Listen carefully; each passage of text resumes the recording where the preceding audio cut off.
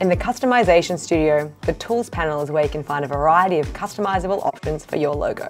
Graphic. You have the option to choose between icons, monograms, and abstract graphics. Monograms can be further customized by selecting Edit Monogram. Layout. The Layout panel allows you to change the arrangement of elements within your logo, such as the position of your primary text and graphic. The Circular Layout option allows even further customization with the addition of dividers and circle outlines to frame and add more detail to your design.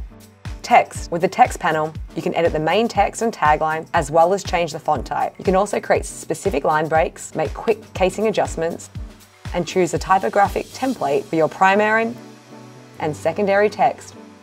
Colours. On the Colours panel, you can shuffle through a variety of colour palettes for your design, as well as customise colours of individual elements. You can also pick individual colour swatches per logo element and even specify a hex code value if you have specific brown colours you'd like to use. Sizing.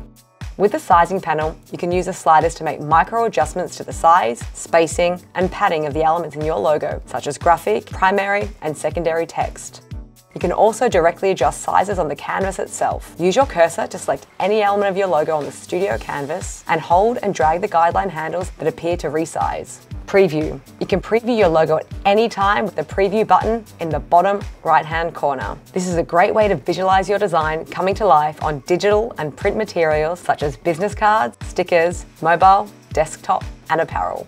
Once you are satisfied with your logo adjustments, you can click Finish in the top right of your screen to move on to downloading your logo and see personalized options to continue building your brand. And don't worry, your logo is always saved when you exit. So if you want to make future adjustments or create alternative versions, you can access it in My Projects here. Once you're finalized, a compressed zip folder will automatically be downloaded to your computer. Open the folder to view your downloadable logo files in PDF, PNG, and SVG formats, all of which are completely free to use, making it easy easy to bring your design to life with print options such as business cards, mugs, and apparel all available online with Vistaprint. And if you'd really like to take your new logo to the next level, you can hire a designer or start a logo contest on 99 Designs by Vista to get even more custom options. And if you're still not sure, you can always reach out to our wonderful care support team. It'll help you select the logo solution that's right for you. Thanks for watching, and we look forward to being your number one partner for business design and print.